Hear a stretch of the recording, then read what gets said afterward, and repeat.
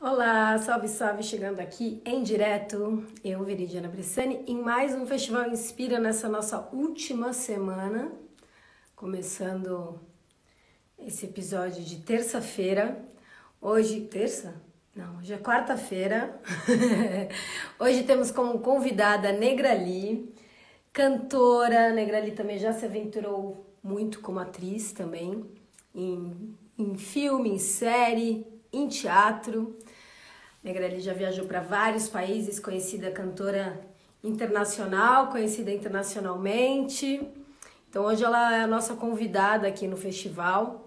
Vamos conversar um pouco sobre várias coisas, desde a época de RZO até os tempos de hoje, onde é só Negrali, né? Mais do que conhecida. Então, é isso. Amanhã a gente tem Talma de Freitas, cantora também atriz. A Talma é uma mulher super especial também, que vem com um trabalho super bonito. E a Talma está morando já há alguns anos, alguns bons anos nos Estados Unidos. E na sexta-feira a gente tem para fechar o nosso festival, a gente tem a líder indígena Shirley Krenak aqui também. Então a gente tem uma semana bem recheada, bem bonita para fechar esse festival com chave de ouro. E eu tô aqui esperando, daqui a pouco Ali chega, Negra Ali, para conversar com a gente, contar um pouco sobre a trajetória dela, contar um pouco sobre a história, sobre os momentos de superação. Ela que é uma grande inspiração para muitas mulheres, porque né, saiu de um, de um mundo super machista pra caramba e se tornou uma das maiores musas da música diva, da música brasileira, da, do rap, do R&B brasileiro e faz show mundialmente. Eu vou mandar aqui um convite para ela. Só um segundo. Yeah, tuf. Ah, muito bem, Dona Ali chegou. Ela que também em breve vai estar com uma live super especial no dia 7, gente. Então ali vai poder contar pra gente tudo isso. Que massa. Yeah. Muito bom, que delícia. Conversar aqui um pouquinho. Yeah! Aí?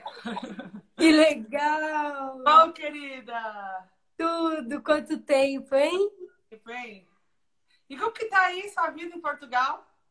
Ai, cara, agora, graças a Deus, a gente tá saindo. Chegou o verão, porque realmente passar a pandemia no inverno foi punk, mas agora tá mais suave, assim. Agora a gente tá começando, mas eu tô pouco a pouco trouxe a Girls on Board, pouco a pouco voltando às coisas que eu sempre fiz, né? Porque a gente começa do zero a vida de novo quando a gente muda de país, né, Neg? Então você sabe ah, que não que é bom. fácil. É. Ah, é um prazer te receber aqui. A gente que se ah. conhece, sei lá, mais de 20 anos. Verdade. A última vez que eu te entrevistei, eu estava olhando, foi em 2012, cara. Faz bastante tempo. 2012, CD é tudo de novo. É. Voltado pro MPB Soul. É. gente, e aí? Vamos chegando, vamos chegando. Dá bastante coração. Chama a galera aí para nossa entrevista ao vivo, que vai ser maneira.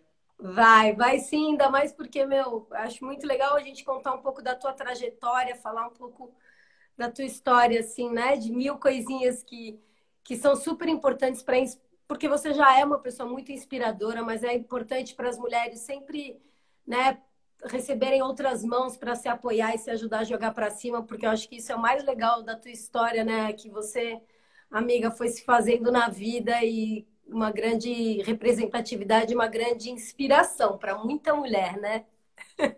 Ai, que bom. Obrigada. Li, uh, vou dar um rewind aqui um pouquinho na vida. Queria saber um pouco como foi a tua infância, a tua juventude, como que era na tua casa, a tua vida com a tua família. Bom, eu tive uma infância maravilhosa, brincava muito na rua, né? Eu sempre fui muito humilde, um lar bastante humilde, é, criada por uma mãe evangélica, família toda praticamente, parte de pai, parte de mãe, é, são evangélicos, eu sou. E um lar muito assim, feliz. Eu tenho uma lembrança muito boa de alegria, apesar da, né, da falta material, né, das coisas, assim, de ver a geladeira vazia, armário vazio. A, a sensação ainda que eu tenho de lembrança é boa, porque era, acho que era uma época de infância que a gente vivia a infância intensamente, né? Muitas brincadeiras na rua e, e jogar bola, carrinho de rolemã e brincadeira do elástico, trocar cartas, trocar cartas. Nossa, adorava aquelas cartinhas e tal e brincar de boneca e fazer as, os brinquedos com caixa de fósforo. Tem essas lembranças, sabe? Tijolo se tornar a casinha da boneca, o fogão e tal. Então foi muito bom, tipo assim, a minha mãe sempre foi uma mulher muito batalhadora, muito guerreira, divertida também. Ela acho que ela nunca deixou a bola cair, sabe? Minha mãe sempre teve aquela resiliência, aquela coisa, dar a volta por cima. Minha mãe é extraordinária, eu tenho, eu tenho ela muito como exemplo, assim. Então, eu também tenho isso que ela, que ela tem, né? Eu, por isso que a gente... É, por isso que o, o, exemplo é mais importante do que qualquer fala. A minha mãe não precisava falar muitas coisas. Tudo que ela fazia, eu observava, né? E sugava dela toda aquela é, essência boa que ela tinha. Eu espero ser pelo menos um terço do que aquela mulher é. Oh, com certeza, para Sofis, meu, para os dois ainda agora, que já tem dois, né? É, e aí, nessa época, você sonhava em ser o que da sua vida quando você crescesse? Então, eu, quando eu era pequenininha, eu cantava dizendo que queria ser professora. Eu, a, eu tinha uma, uma melodia no final da música do. Ai, como que chama?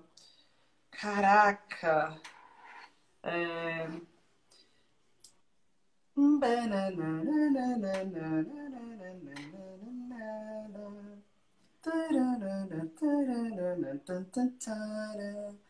Aí que, que juntava com a do Beatles.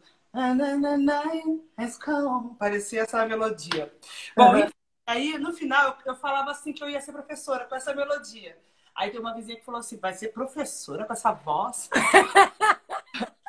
Mas é porque lá em casa, a minha mãe, né, foi professora de, é, de desenvolvimento infantil e a minha irmã também foi para esse lado. Então, por causa da minha mãe, eu falava que queria ser professora. Mas, lógico que isso foi, tipo assim, muito pouco. Logo depois eu já descobri essa veia artística em mim, porque meu pai também era músico da igreja, minha mãe cantava muito bem e disse que sempre teve esse sonho assim, escondidinha, né? Por causa da igreja, ela não, não podia levar isso adiante de, na cabeça dela, né?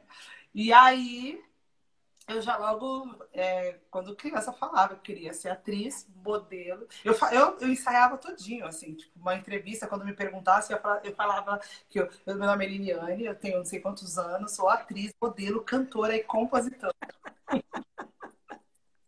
Legião Urbana! Uh, lembrei! Boa! Boa, Tico Teco deu, eu, deu assim, do nome, eu ia fazer uma entrevista cagada do, começo ao fim. Porque,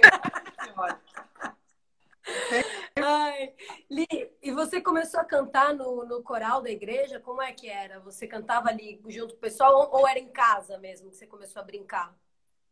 Em casa. Na igreja, eu gostava mais da parte dos hinos, mas não tinha apresentação, não tinha coral na minha igreja. Né? A igreja que eu frequento, ela é bem tradicional, assim. As pessoas, as mulheres sentam de um lado e usam véu, véu branco. E os homens sentam do outro lado. E aí tem a parte dos músicos, tem a organista, que chama os hinos, e os, os músicos só, só sopro. Não tem sopro, corda, violino, não tem bateria, né? E nada eletrônico, e só o órgão.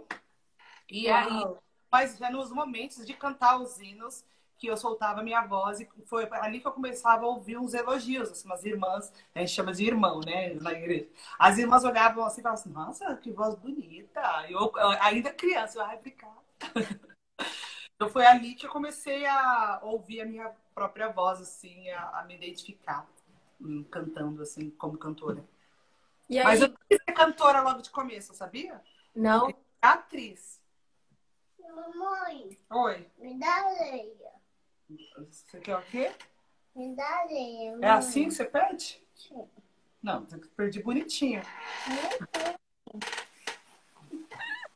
Olá!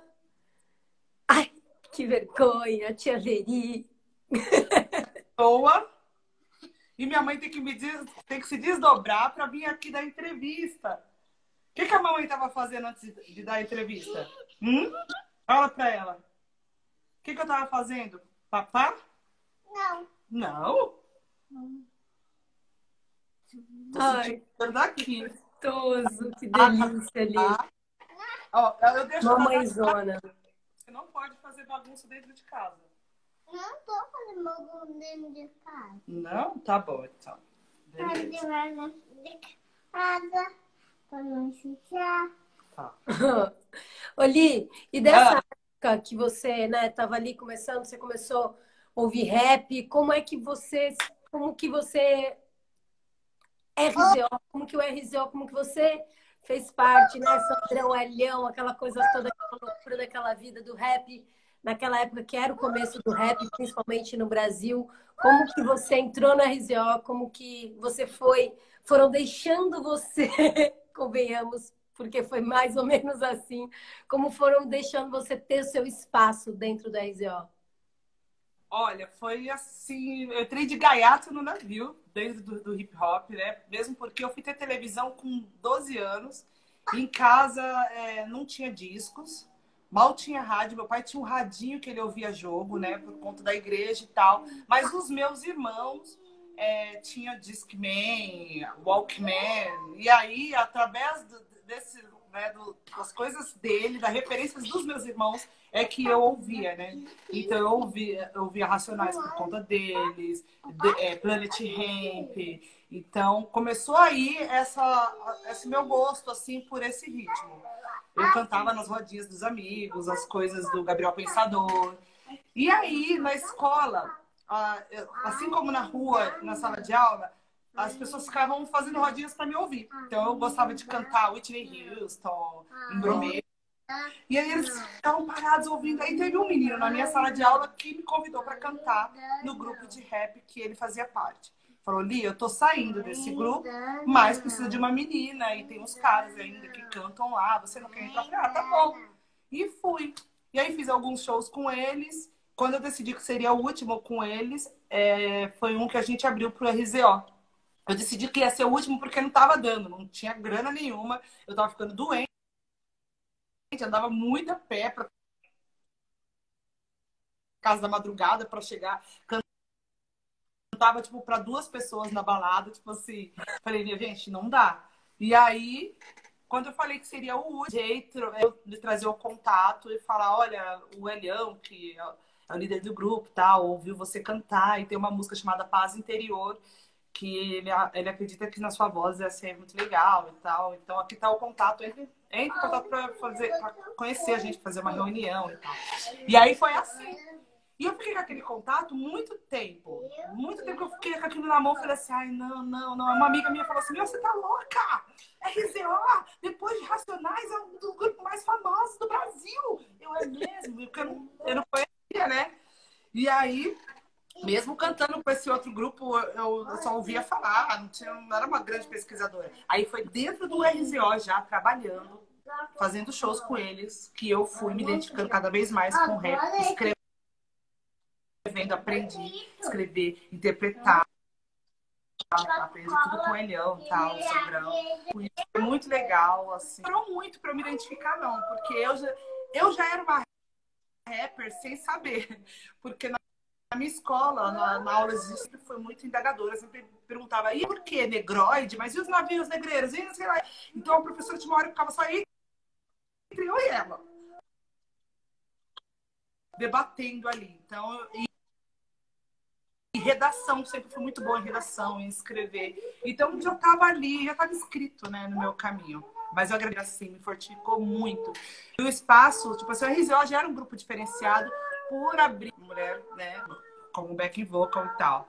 E aí Acho que foi eu o primeiro acabei- grupo, né, no Brasil. Que... Opa, tá com um pouquinho de, de, de, de internet, deu uma falhada aqui. Acho que agora voltou. Ó, pronto, ó. mamãe fechou assim, tá? Põe ali de novo, tá? Obrigada. A internet tinha dado uma falhada aqui. É, eu vi que eu fiquei meio paralisada. É. eu acho que o RZO foi o primeiro Mas- grupo é, que botou uma mulher mesmo. Oi? Eu acho que o RZO foi o primeiro grupo mesmo a dar espaço para uma mulher. É, eu não lembro como Ah, era. não. Eu acho que o Taíde, tipo, teve uma época que teve back vocal, mas acho que É, não tem alguém no grupo. sim, mas é que o RZO tinha um pouco mais de. É, era mais famoso e tal, então a gente tem a lembrança mais assim de, de RZO nesse formato. Mas eu acredito que podia ter sim já naquela época. Mas eu lembro que eu ia ensaiar, andava a pé da Brasilândia até Pirituba, e o Elião disse que o meu esforço falou, fez eu ocupar aquele espaço, porque na verdade Tá bonitinho, Eles me convidaram. Ai, que lindo, obrigada. Porque na verdade eles me convidaram só para gravar a música Paz Interior. Só que como eu tava indo, me interessando e, e ensaiar, eles viram que eu magrinha, magricelinha lá, pretinha, chegando no ensaio com meu caderninho, sabe? Disposta a aprender. Ah, volta internet. É, às vezes é, às vezes é o Wi-Fi, às vezes tem que jogar no 4G, às vezes fica meio. Vamos ver, acho que você jogou. jogou... Ah! Boa. E olha que mundo da internet tá ok aqui. E aí foi aí que ele me falou assim: não, a gente quer você nos shows. E fui ficando, ficando, ficando. E aí aconteceu tudo na minha vida. Que legal! Você falou que nessa época você começou a escrever, né? Ah, você pôde. Suas letras come... você começou a escrever, porque o Elião é- era um grande, né? É um grande poeta. O cara escreve pra caramba, ele sempre, né, teve letras muito fortes. Você ficava com as letras pra você ou você tinha abertura pra mostrar? Você tinha ou tinha um pouco de vergonha de mostrar o que você também escrevia?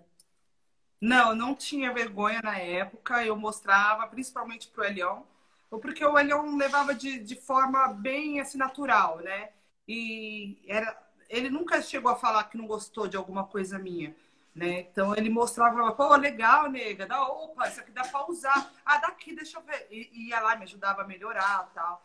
Tem música que, rap meu, chamado Luta Cansativa, que entrou no CD do RZO sem nada de ninguém, só a letra toda minha. Eles não precisaram mexer em nada. Ele falou assim, não precisa mexer em nada e essa vai entrar no disco. Eu fiquei muito. Ah, que legal, que demais. E Ni, nessa época, cara, a gente, né, era um mundo extremamente machista, né, onde pra gente ah, ter maior liberdade ou ser respeitada como mulher, né, cumprimentar, até estava falando outro dia na, na live, a gente tinha que cumprimentar era na mão, né, não podia nem dar beijinho. Às vezes nem da mão, né, filha? Às vezes era só um. Salve. Li, como que você hoje, né, com, com tudo que a gente que você criou para ti, e tudo, mas como que você olha para essa época? Como você se enxerga naquela época? Você acha que você ah, conseguia ser a, a Negra Li? Não, com certeza não. Eu fui muito podada, né? Tipo, eu lembro quando eu eu comecei. Ai, o Blue! Ai, ai, Blue! Eu lembro quando eu comecei na RZO, uma das primeiras coisas que eles me falaram é como devia se portar. Eles falavam, é, me davam, falavam assim, ó, vou dar uns toques, né? Como eles diziam. Não, não pode sorrisinho. Sorrisinho pros manos, porque você sabe, né? Tá querendo, pode- mostrar que tá querendo, isso aqui lá. Cumprimentar com beijinho, né? Porque eles tiveram que me explicar, porque eu era totalmente diferente do que eu me tornei depois no, no RZO. E aí, saia também, disseram que não podia no palco e tal, essas coisas. Eu não, eu não os culpo, eu, eu fui perceber que era um, um ato de machismo muito tempo depois, porque eu era muito ingênua, eu era muito jovem e achava que aquilo lá era para me preservar, que era para obter respeito. De certa forma, me preservou. Foi bom, porque eu fiquei ali quietinha, vestida como eles, camuflada, né? Aquele camuflado e observei bastante. E na hora certa, quando estava preparada, eu pude é, ser quem eu era e falar publicamente, porque eu também era muito calada, tinha muita vergonha, muito travada. Até hoje eu ainda tenho que me libertar de algumas coisas, né? E aí era isso, mas assim, eu- já com o RZO já era bem mais fácil, cara. Só deles me receberem ali, é, sempre me protegiam, né? Parecia que eu era uma irmã. Uma irmã mais nova deles, assim. É, o Blue até falou aqui, assim, o Blue até comentou, era um jeito de cuidar, porque era muito homem em volta. E é real, né? A gente que né, era mesmo muito homem em volta, era realmente um jeito de proteger a gente e ao mesmo tempo de, de da gente também estar tá se sentir preservada, porque o olhar, né, querendo ou não, mulheres bonitas ali no meio, o negócio era um pouco complicado, era um monte de urubu, né, velho? Ah, muito legal. Mas eu sou muito melhor agora. Eu prefiro muito mais agora, com essa liberdade de ser quem eu sou, de ser feminina, porque também esse jeito assim misturou muito as coisas. Eu lembro as pessoas me perguntaram: "Ah, mas e aí, você mora ainda na Brasilândia?" Não, e faz tempo que não, porque assim que começou tudo é, eu ir para televisão, tal, em 2004, ficou quase que insuportável, porque eu as pessoas passavam na frente da minha casa, gritavam e às vezes me abordavam de uma forma assim, e aí? E aquele CD lá, mina? É, aí vai dar aquele CD lá, cadê aquele CD para nós? E tipo assim, eu falava assim, meu Deus, peraí. Então, isso, é, essa forma da gente se vestir como homem, falar como. Eles acabavam tratando a gente como. Total. Aí, total. Não, peraí, você tá confundindo né, as coisas. Então, a abordagem, assim, aí começou. E eu, aí eu tive que mudar várias vezes. Assim, aí eu fui para um apartamento, porque eu pedi para a gravadora. Eu falei: olha, vocês querem me colocar na Rede Globo e no dia seguinte eu voltar para lá? E tá difícil. Eu estou sendo abordada na rua, eu não consigo. Eu chego de madrugada cansada e logo de manhã estão batendo no meu, no meu portão, é, me chamando e tal, não sei o que lá. Aí a gravadora falou: ó, nunca fiz, fizemos isso para ninguém, mas nós vamos pagar um ano de aluguel então, a partir de lá, eu fiquei nesse apartamento, depois mudei para uma casa que também não, não, não consegui, porque era no, numa rua. E aí, de madrugada, eles ligavam o som alto com o som meu e gritavam. É, e eu tinha medo. Eu comecei a ter medo, assim, porque é diferente quando você é mulher. Você não, não sei, você não consegue trocar uma ideia. Eu, tipo assim, eu só cantava rap. Eu não sou malandra, eu não sou, não tenho essa, entendeu? Total. E, e, uh, e aí eu tive que mudar de novo, dessa vez para um condomínio onde tivesse, ou seja, a gente é obrigado às vezes a elevar o nosso, nosso padrão e depois a gente se ferra, porque tem que manter. Mas enfim, às vezes a pessoa olha e fala assim, hum, tá rico, tá milionário. Opa, calma lá. Não é bem assim, né?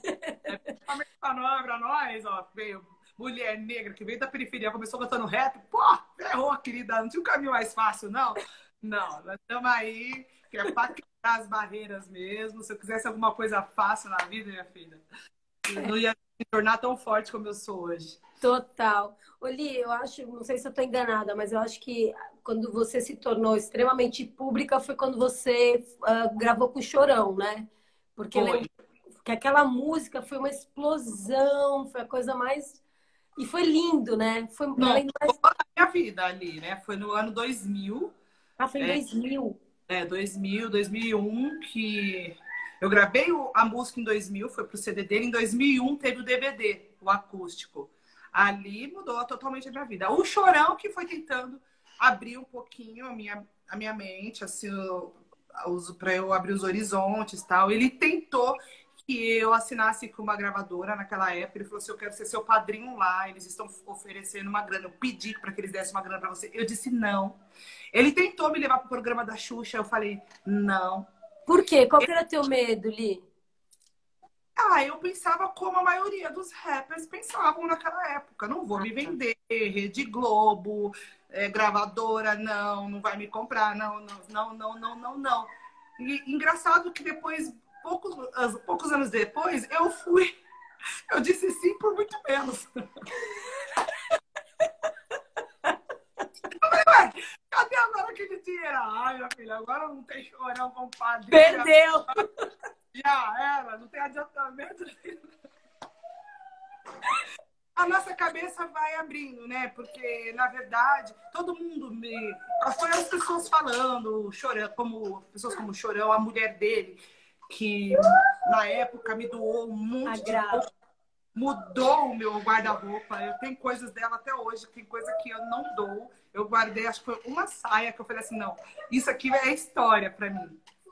É, e a Gra era sempre muito querida, né? Muito querida. Ela tem muito a ver com tudo ali. Ela, ela é uma, era uma mente ali por trás das coisas.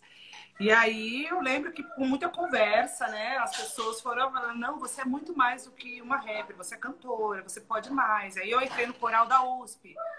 É, Ai, no... legal! Eles é... são muito bons, cara. Isso é uma boa dica. Meu, o trabalho do pessoal do Coral da USP é muito, meu, o preço é muito social, é muito acessível. Às vezes dá até para você nem pagar e o trabalho deles é muito bom do Coral da USP. É, então, é, eu sempre fui muito querida, né?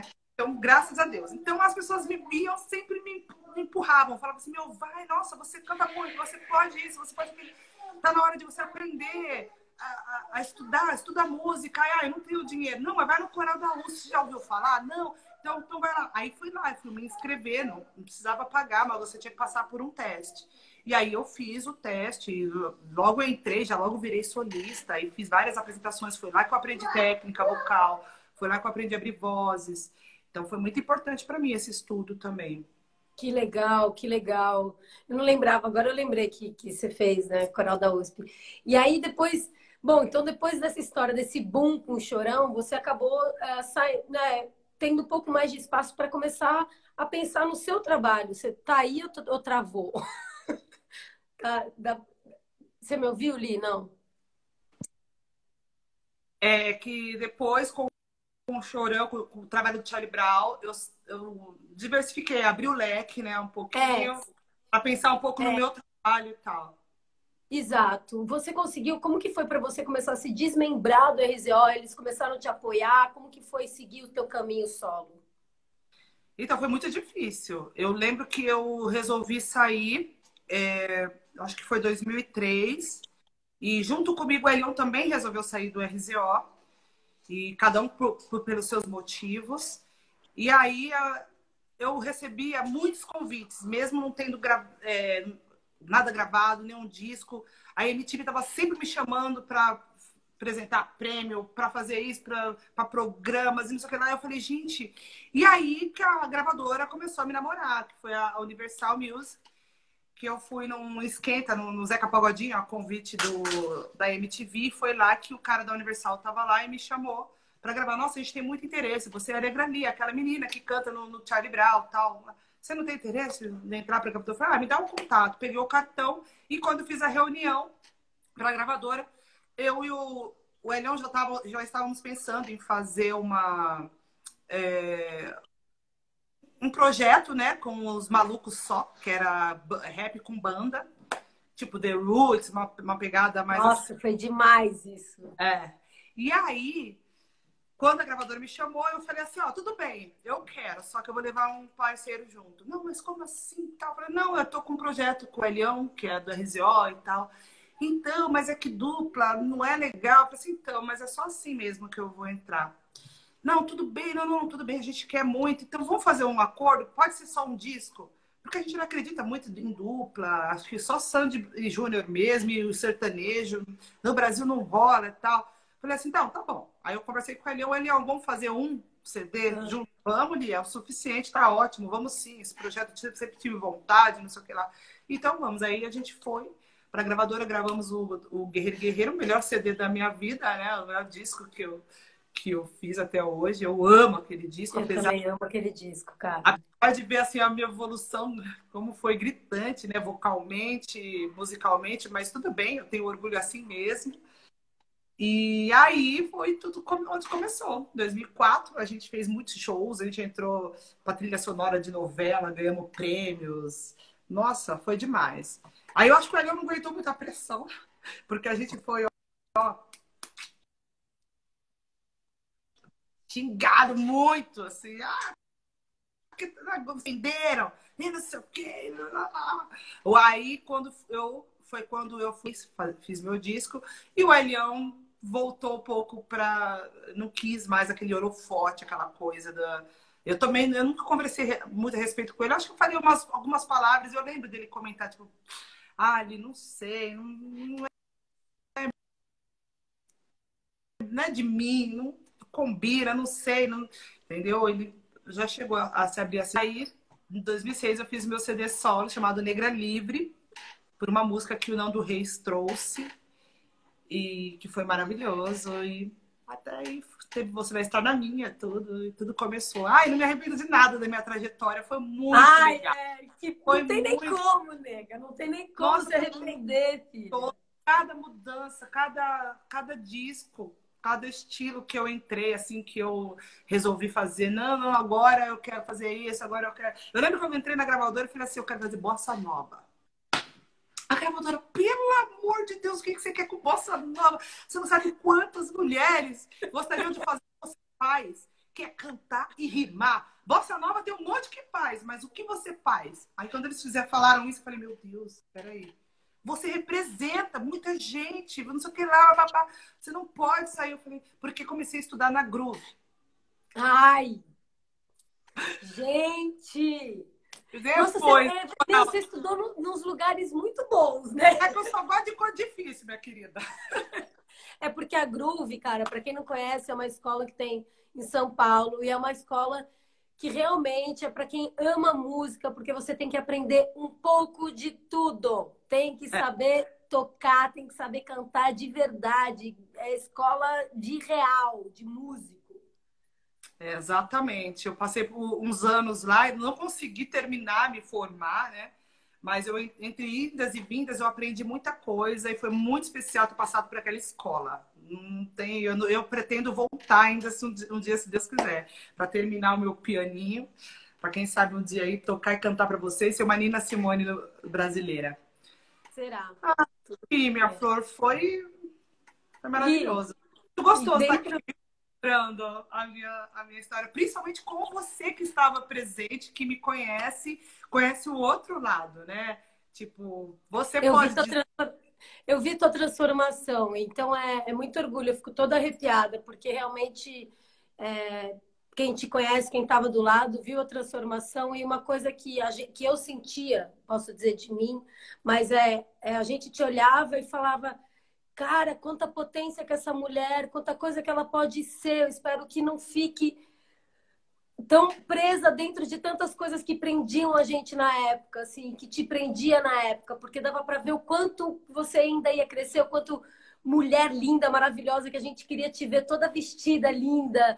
E aí eu lembro de te ver. Eu a vi primeira- os olhos de todo mundo, esse desespero nas pessoas. É, eu lembro. Vocês não sabem o que tem aqui dentro, os meus planos. é, Calma, quieta. Eu só sou observadora, tímida. Mas na hora Eu lembro a primeira vez que eu te vi, acho que num festival, que eu te vi assim, mais arrumada, mais feminina, assim, que você pôde, né, tá vestida como você queria. Cara, eu lembro que eu te vi e falei, ai, Lia, como você tá gata! Eu lembro de, eu tenho exatamente essa memória, assim, de tipo ver, ai, que bom que você tava soltando as amarras, sabe? Enfim.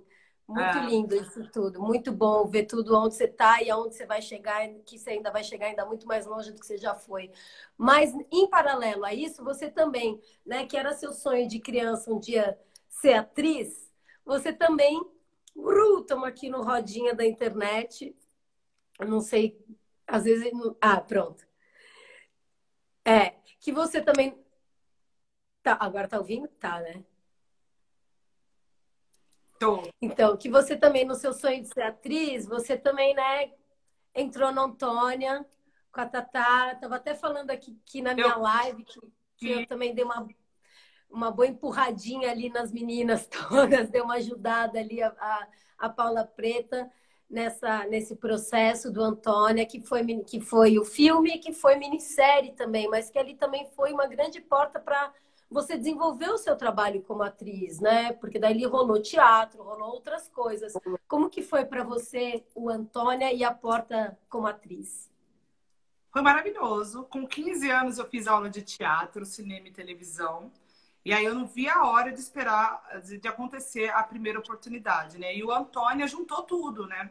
Juntou tudo, porque além de atuar, eu representei é, as mulheres, as mulheres negras, as- estavam quatro mulheres negras protagonizando, né, na Rede Globo. Então isso foi muito legal. É, a gente abriu uma discussão, toda uma é, muitas crianças, assim, tipo, se inspiravam na gente, né? Apesar de a gente ter um horário que a gente queria, porque era uma sexta-feira à noite, é tipo sexta-feira, nove da noite, e era muito difícil porque para as crianças estarem acordadas, né, para as pessoas mais jovens, e muita gente que ia para balada nesse horário, estava se arrumando para sair. Mesmo assim, tem muito público e muitas pessoas assistiram e até hoje eu carrego essa responsa de né, no Antônia. E foi muito legal. Eu e as meninas achávamos que a gente ia ficar milionária, íamos tornar, ia nos tornar globais, ia mudar nossa vida, ia ter emoções. é muito gostoso a no, nossos papos, a nossa ingenuidade, assim, mas foi muito legal porque só me trouxe coisas boas depois, né? A gente estava ali representando também a periferia de São Paulo, que era bem diferente. Na televisão a gente via muita comunidade do Rio de Janeiro, o rap, nossa, o feminismo, né? A gente plantou uma bandeira também de representatividade é, da mulher. Nossa, foi incrível. E depois eu fiz alguns musicais, né? Um papel muito importante que eu fiz minha vida também de Maria Madalena no Jesus Cristo Superstar. Aquilo ali foi. Foi ali que eu descobri que eu era mezzo-soprano e não contralto, como todo mundo pensava. Foi ali que eu atingi notas que eu falei, meu Deus, eu não, não sabia. Quem conhece essa produção, conhece as músicas, conhece essa personagem, que é Maria Madalena, sabe do que eu estou falando. Foi, foi muito difícil. E eu superei e fiz e adorei. E o trabalho mais recente que eu fiz atuando foi num filme chamado O Segundo Homem, que ainda não lançou, ao lado da Cleo, a gente era parceira, é, detetives. Uma detetive aprendi a tirar. É bom só pra isso, tá, gente? Só pra ficar ali treinando lá bonitinho na cabine com o instrutor tal. Foi muito legal ter essa experiência, foi a primeira vez. E graças a Cleo que me indicou essa mulher fofa que é a Cleo, ela de apertar ela, que adora ajudar as pessoas, empurrar também. Foi um trabalho muito legal, foi o mais recente que eu fiz. Que legal.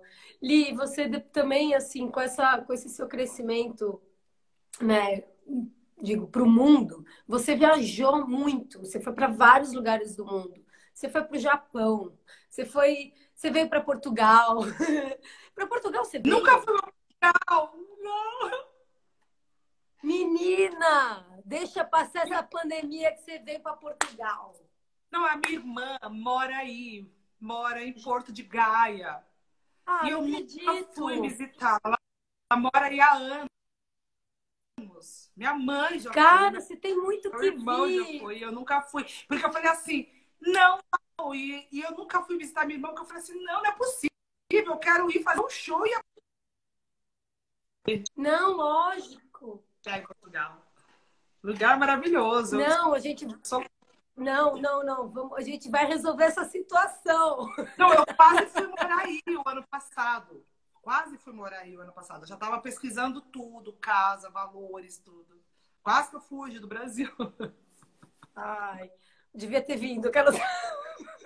Eu, eu não fui por conta da minha carreira. Eu tinha acabado de lançar o disco Raízes e estava trabalhando aqui. E aqui que é o lugar onde eu tenho trabalho, né? Então ia ser É, muito não. difícil mudar agora, mas um dia, quem sabe. Sim, mas uma coisa muito legal é que o Rael vem muitas vezes, né? Agora vocês gravaram, meu, ficou lindo, por sinal, aquele trabalho de vocês dois juntos. É, e o Rael tem vindo muitas vezes, a gente, toda vez que ele vem, a gente se encontra e curte um pouco aqui. E é tão bom, assim, porque a gente vê que aqui em Portugal tem uma comunidade que ama muito a música brasileira, que ama muito o trabalho de vocês. Então eu sei que também quando vier aqui para Portugal, eu sei que não tenho nem dúvidas o quão abraçada você vai ser.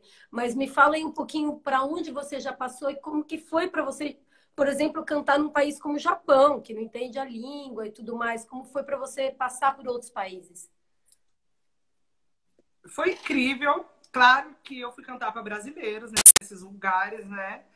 E um dos lugares que eu mais me encantei foi o Japão. Eu passei 15 dias lá, conheci várias cidades e é inacreditável. É... Ai, parece outra dimensão. Quanta evolução, assim, tipo assim, numa mesma época, você vê o Brasil e o Japão, você fala, mano, não é possível, não é possível que a gente tá tão atrasado. Na questão de educação, não só tecnológica, mas a questão de educação. cara. Eu achei incrível. E já fui para a Alemanha. Né? A Alemanha eu fui por causa do. E fui para Angola. Uau, que legal, você foi para Angola.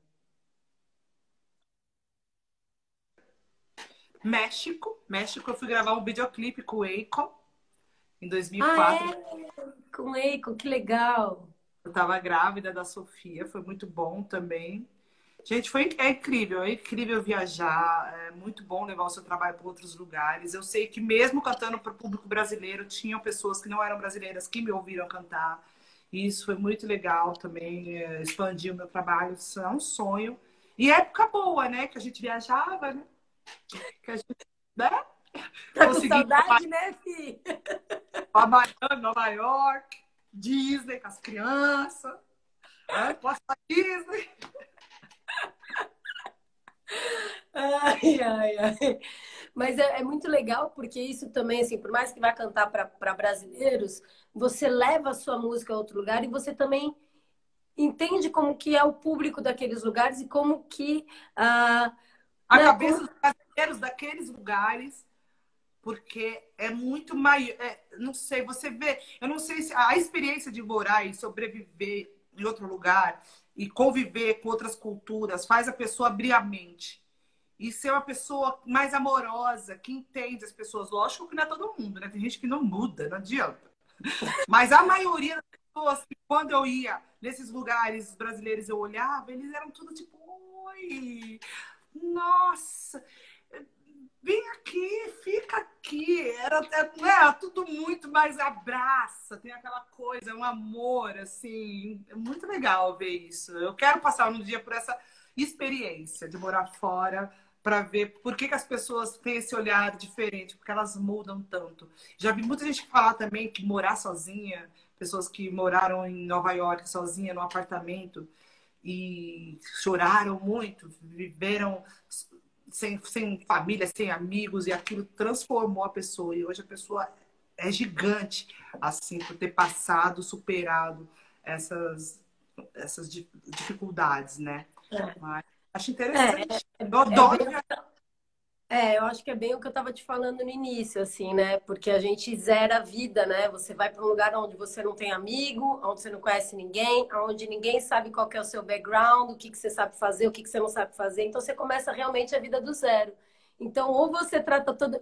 Quem te recebe, te recebe com amor. Então você acaba tendo que, de certa forma, não todo mundo, como você colocou, mas de certa forma você tem que ser mais amoroso porque é um mundo novo. Então, ou você abre o braço para um mundo que está abrindo o braço para você, ou a coisa vai ficar bem complicada, né? Acho que é meio por aí, assim.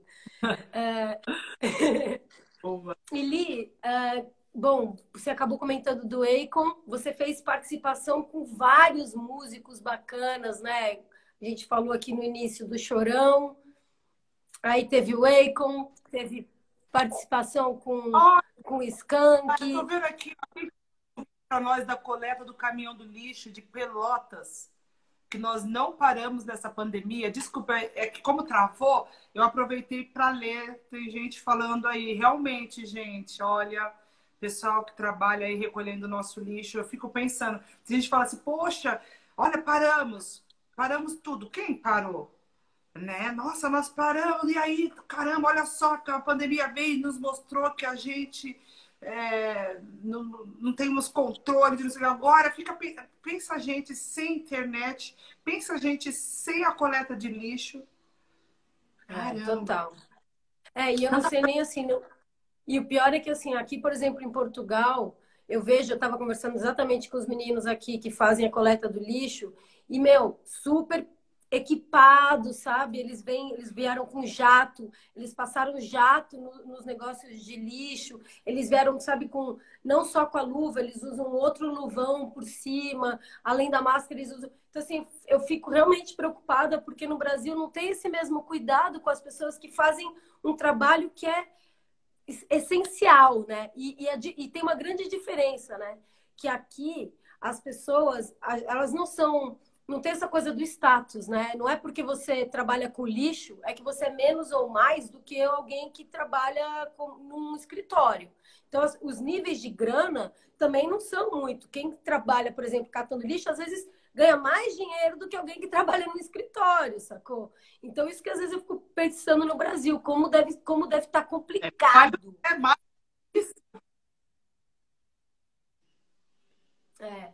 É dá para ver a diferença gritante né, da forma de governar de Portugal para o Brasil. Eu sinto muita vergonha de tudo que está acontecendo. A minha irmã, que mora em Portugal, então é, ela me fala tudo como está sendo. Eu vi como ela foi afastada do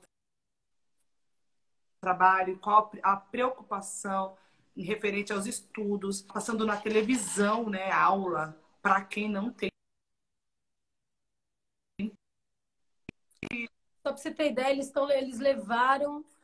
Quem não tem computador, eles doaram computador para as crianças que não tinham acesso à internet. Olha isso. Aqui, cara. quando voltar, vai ser, ó, pessoas que realmente pararam de estudar e pessoas que estudaram online. Vai ser uma diferença gritante, assim. E, de, de novo. É, a desigualdade, a desigualdade social vai ficar Exatamente. Estamos na mesma tempestade, mas não no mesmo barco nunca, nunca tivemos, né? Não. É uma pena. Eu fico muito. Eu, eu sou grata a Deus por ter conseguido dar uma qualidade de ensino para minha filha.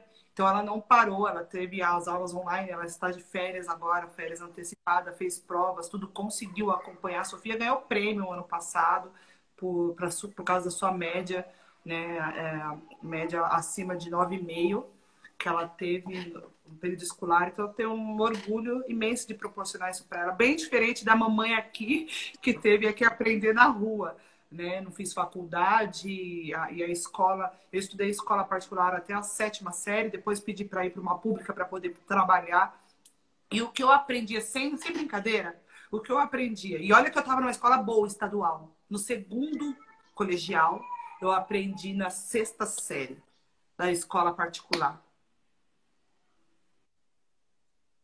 Que loucura. Teve segundo colegial que eu tinha visto na sexta série, na minha escola que eu estudei por conta de bolsa de estudos. Então, eu agradeço meu pai, que teve essa grande ideia de inscrever a gente. Todos os meus irmãos passaram por essa escola, nem todos aguentaram, porque meus irmãos não aguentavam passar pelo, pela vergonha de passar por baixo no ônibus, porque para chegar nessa escola a gente levava tipo uma hora, uma hora. Então tinha o transporte. E aí meus irmãos grandões passando lá, cobrador punha o pé. Então o que que adiantava? Eles para eles pararam. Teve uns que foram estudar só depois, pararam de estudar na quarta série. Hoje um não fez faculdade, trabalha num banco e tal, super é, tem seus imóveis, não sei o quê.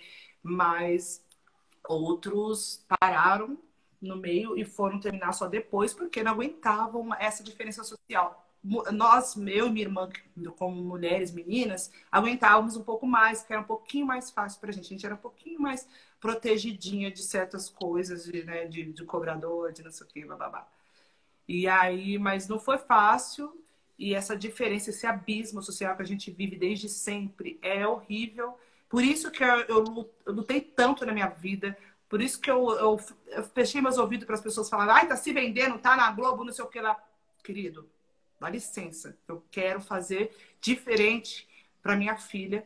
E, e, assim como minha mãe já fez diferente para mim, porque ela foi atrás de bolsa de estudos, ela se tornou, ela era uma professora, ela, estu, ela fez pedagogia, ela voltou a estudar, fez o segundo colegial depois dos 40 anos, porque o marido não queria que ela fizesse, e ela ia mesmo assim, e depois fez pedagogia, e hoje ela é aposentada, aposentada e conseguiu pegar o, o mais alto salário do que ela do que ela fazia como aposentadoria. Então, minha mãe já fez diferente, eu vou fazer ainda diferente da minha filha. Eu cresci com uma mente tipo assim, ai, não é para mim. Ai, eu não vou conseguir. Ai, é difícil. A minha filha não. A minha filha fala, eu não sei se eu vou para UCLA ou se eu vou para Harvard. Eu, eu, ai, eu gosto da Califórnia, mas ai, eu também fico pensando se Nova York não é um entendeu? É para isso, para isso que eu. Ai, deu uma, tra... Deu uma travadinha. Trabalho. É. Não, e é isso mesmo, entendeu? É isso, é mudar, é quebrar os paradigmas, né, Li? É exatamente isso, é quebrar os paradigmas e, e trazer novas, poten novas potências. Além mais agora que a gente está falando, né, vidas negras importam, todas as vidas importam, os índios importam, mas é muito importante que a gente fale mesmo, né, de como que para os negros foi tão é tão difícil chegar numa coisa que não deveria ser difícil, sacou? Que é a tua É filha mais. muito é, e e que eu acho que assim, o que a tua filha fala é o que muitas crianças deveriam estar falando. A, a possibilidade deveria ser infinita para todas as crianças, né? E não só para algumas. É, a gente não pode é, viver assim, limitado, né? Chega. A gente precisa ter uma liberdade também de, de ser o que a gente quiser ser. Qualquer coisa. Negro tem que ocupar todos os lugares. Entendeu? A gente tem que se Exatamente. acostumar a nos ver em qualquer posição, até em futilidades. Porque a gente pode ser o que a gente quiser. A gente está tão acostumado ver coisas assim, ver as Kardashians, ver não sei o quê. Ver... Por que não? Né? Por que, por que, por que pra gente tanta pressão? Por que, que a gente tem que ser tão duro? Tem que ser tão. Pra quê? Exatamente. Como diz a Regina, sejam leves. Leves.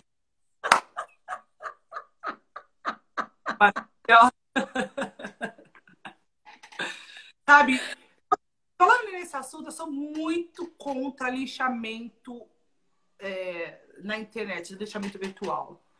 A Regina do que a Regina Duarte sofreu, eu acho assim, o que se você não, não é a favor, se você as pessoas têm a liberdade de, de terem dif- de- diferentes opiniões. É lógico que eu não concordei, é lógico que eu não, não concordo com um monte de coisas, com, com o governo, com isso que era, mas eu acho que não. A gente, o que a gente vai escrever na internet, o que a gente vai falar, as pessoas têm vidas, têm. É. Por isso que eu tô brincando dessa forma, de verdade, leve. Não quero desrespeitar, não. Eu quero dizer que eu respeito a opinião de todo mundo. É lógico que quando certas opiniões, certas, certas atitudes vêm nos prejudicar, aí, e, e- e levar à morte de pessoas, levar né, ao caos, levar coisa. Aí a gente tem que realmente interferir, mas de uma forma também coerente e séria. Né? Essa coisa É. de, de memes na internet, de tá- desrespeito. Isso é muito sério, Li, porque eu acho que as pessoas têm que entender que a gente pode agir com amorosidade, né? A gente não precisa. Né? A gente não precisa agir sempre com agressividade. A gente pode não tolerar mais, mas a gente pode agir com amorosidade. Então, escolher as melhores palavras, escolher a melhor forma de expor o que, que a gente sente, mas pensando que agora a gente, principalmente no momento que a gente está, é união com amor, cara. Não é no ódio que a gente vence uma guerra, é com amor que a gente vence uma guerra. Isso é muito importante que você está trazendo, porque é, o caminho é exatamente esse, sabe? É no amor que a gente vai vencer. É, respeito, né? Muito, muito respeito por todos, por qualquer pessoa, até quem não, não, não nos respeita. A gente ainda assim tem que ter o respeito, porque o exemplo é a melhor coisa. O exemplo, a educação, melhor forma. Total. Avisando aqui as pessoas que, para quem chegou no final, a live vai ficar salva no canal da Girls on Board, no YouTube, e também em formato podcast, porque daí as pessoas podem ouvir a hora que quiser, assim. E, e- então a gente está chegando aqui nos nossos últimos minutos. Amanhã a gente vai ter a Talma de Freitas, Talminha. E domingo tem a minha live, minha primeira live no YouTube. Tô preparando um show maneiro, olha, com um repertório lindo. E vai, eu já vou chegar chegando, hein? Já vai ser pancada, é rap na veia, porque eu tô divulgando é em prol da Vila Brasilândia, né? Onde tá tendo muitos casos de Covid-19 e tem muitas pessoas precisando de ajuda nesse momento, muitas pessoas sem trabalhar, muitas pessoas ali abandonadas, né? Então, a gente vai ajudar, a gente vai arrecadar muita, muito dinheiro para a Brasilândia, para a população. Já conseguimos doação de sabonetes, cestas básicas. E eu não vou abandonar essas pessoas, esse lugar maravilhoso que eu nasci, cresci, que eu tenho muito orgulho, que minha família toda mora lá, a maioria dos meus parentes estão lá, estão se cuidando, graças a Deus, até agora ilesos. E, gente, se cuidem vocês que moram na região, por favor, levem a sério. E então, já estão começando a amolecer, já muitos lugares estão abertos, e a, só que as mortes não estão diminuindo, elas estão aumentando. Então, agora é, nós estamos cada aqui. É, ver, a gente está cada um por si, a gente não tá. No, é como se a gente não tivesse um líder. A gente tá por si só. A gente tem que pensar em ficar em casa pela gente. A gente tem que estar tá tendo que se virar, entendeu? Então, e ajudar nós mesmos. Eu tô, eu tô levando entretenimento, tô deixando a vida das pessoas, tentando deixar mais leve, falar algumas coisas na internet, mostrar minha família. É, às vezes eu, eu faço uma live cozinhando, mostrando, sabe? que eu sou gente da gente, estou fazendo as coisas, estou levando. Tem, tem, dias que eu estou super down, tem, tem, dias que eu estou triste, tem dias que eu estou sem esperança, mas outros dias eu estou bem. E é normal passar por isso. Vocês têm que se cuidar, gente. Aqui, ó, a mente tem que estar 100% para a gente superar essa fase que está passando. Quem puder, lógico, fique em casa. E quem não puder, tome muito cuidado com os seus parentes, amigos que vocês estão retornando para casa. Então, lá fora, no seu trabalho. Se cuidem, porque ainda não tá. A gente podia estar tá retornando agora, se a gente realmente tivesse né, tomado a posição do que o Ministério da Saúde estava colocando para a gente fazer. Mas, infelizmente, é, cresceu o, número, foi gritante depois de, de, de, do presidente manifestar que era uma gripezinha e tal, e muitas pessoas realmente acreditaram, porque ele é um líder, cara. Muita gente votou nele, muita gente gosta dele. Se ele for falar que é gripezinha, as pessoas vão falar, tá bom, então pra que isso? Ah, vamos sair. E aí foi, aumentou, foi gigantesco, assim, as pessoas começarem pra rua, infelizmente. É. É bem isso que você falou, né? O Brasil, infelizmente, está no momento de que cada um tem que pensar por si, todo mundo tem que salvar-se quem puder. Pelo conjunto, pelo... Pelo conjunto, todo mundo dá as mãos, mas é muito lindo também você ver a solidariedade do brasileiro, o jeito que a gente é um povo, que a gente tem um coração muito grande, e você vê até na favela o quanto aqueles que têm menos acabam dando tanto por aqueles que precisam, por quem está na rua agora no frio. Então, assim, realmente todo mundo tem que se ajudar muito esquece, né? Vai atrás dos países que estão sendo referência mundial, que estão se cuidando. Exato. Tanto exemplo, nós ainda vacilamos, cara. É. Mas, mas eu acho que assim, é ter fé no coração que daqui a pouco tudo vai se resolver. A gente vai se ajudar e vai voltar e vai se recuperar de, de, de tudo isso que está acontecendo daqui a pouquinho, é. se Deus quiser. E Li, muito lindo que você está fazendo esse trabalho de domingo. Vamos todo mundo conferir, que vai ser lindo essa força toda e trazer. Ah, vai ser uma delícia, tá. cara. Vai ser uma delícia. Que bom que eu vou poder assistir o show aqui de Portugal. Vai relembrações que você viveu ali de pertinho. É isso. Agradecer todo mundo que esteve aqui com a gente. Agradecer muito você, Lili, agradecer seus dois e a sua mãe, que deve ter dado uma força Obrigada, gente. estar aqui. Se inscreva no meu canal, eu preciso. Ai, Merilce. Agora, sabe o que eu vou fazer agora? Vou dar papá para meus bebês, gente. Eu sou mamãe, tá? E a rotina aqui tá intensa. então vai lá. Muito obrigada, Lia. Eu também amei. Uma delícia. Em breve eu vou, você está aqui me visitando, que vai ser uma delícia você vir visitar eu e a tua irmã. Tá, tá bom? bom? Obrigada, gente. Muito bom falar com você. Tchau, gente. Obrigada. Domingo na Li e ainda amanhã e sexta aqui. Tchau, Tchau gente. Obrigada. Sobrinho. Beijo. Dá Valeu. um beijo pra Sofia. Sim, dou muitos. Vou apertar ela agora. tá bom. Beijo, gente. Obrigada.